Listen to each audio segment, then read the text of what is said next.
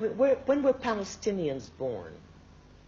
What was, all, what was all this area before the First World War?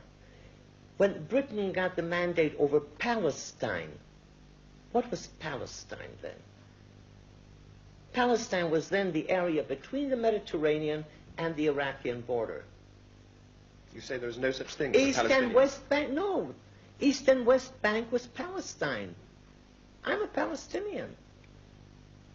From 21 until 48, I carried a Palestinian passport.